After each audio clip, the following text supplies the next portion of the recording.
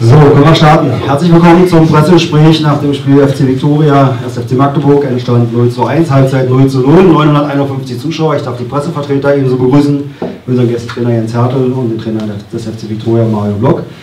Jens Hertel, die ersten Worte nach dem Spiel gehen natürlich an den Gästetrainer oder vom Gästetrainer. Ja, wir sind äh, natürlich äh, sehr zufrieden, hier äh, drei Punkte aus Berlin mit nach Hause zu nehmen äh, bei schwierigen äußeren Bedingungen. Der Platz ist nicht in einem optimalen Zustand, das Wetter. Aber jeder, der heute hier dabei war, äh, hat sich, glaube ich, einen halben Arsch abgefroren.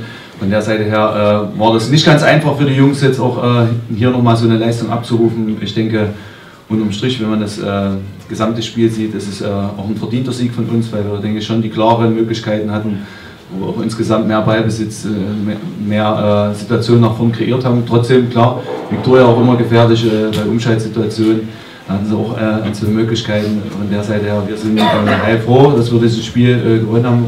Ob das dann mit 1-0, 3-0 oder sonst wie ist, äh, da gibt es auch bloß drei Punkte von der Seite her. Wir äh, halten unsere Serie und wollen jetzt äh, den Schwung natürlich mitnehmen und übernächsten Dienstag dann in der alten Fürsterei da weitermachen, wo wir heute hier aufgehört haben. Danke. Vielen Dank, Jens Hartl. Mario Bock, erstes Heimspiel, dein Fazit. Tag erstmal an alle.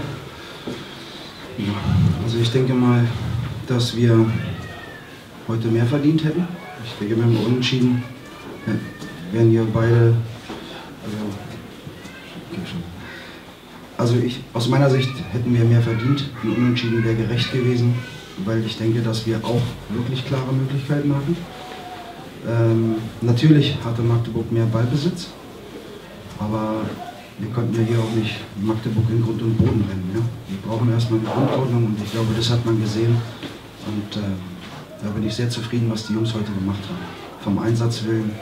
Leider hat es heute nicht gereicht, was mitzunehmen, aber wir haben ja nächste Woche eine neue Chance gegen Neustrelitz, da werden wir alles für tun. Einfach weitermachen, weitermachen. Glückwunsch an, Magdeburg und äh, gute Einreise. Vielen Dank, Mario Block. Ja, dann darf ich die Frage an die Pressevertreter stellen. Gibt es hier Fragen an die Trainer?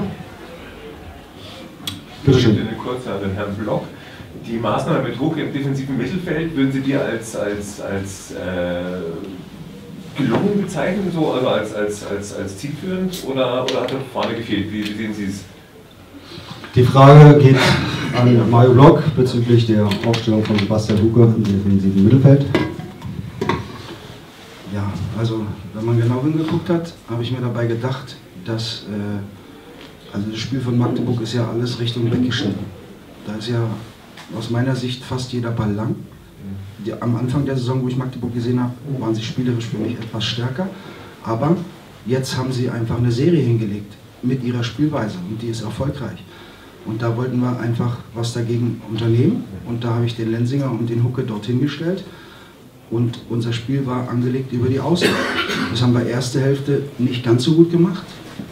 Die Jungs müssen natürlich auch erstmal sehen, dass es funktioniert, aber in der zweiten Hälfte, denke ich, war es deutlich besser.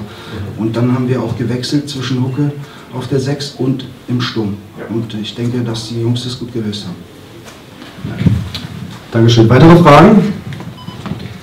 Das scheint nicht zu Fall, der Fall zu sein. Dann äh, wünsche ich dir unserem Gast schöne Weihnachtszeit, gute Heimreise erstmal und äh, eine gute Rückrunde dann und äh, allen Pressevertretern vielen Dank für Ihr Erscheinen. Nächste Woche, 6.12. gegen den, die TSG Strelitz. Alles Gute, schönen Sonntag so. Vielen Dank.